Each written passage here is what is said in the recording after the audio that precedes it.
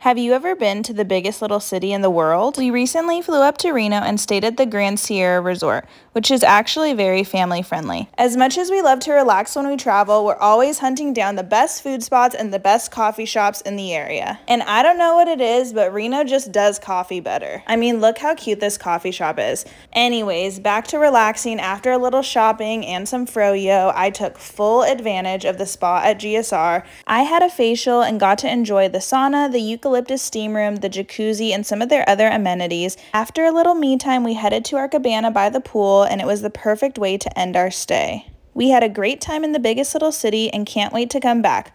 Plus, the Grand Sierra Resort is offering 15% off your stay when you book through Nevada Moms. So, what are you waiting for?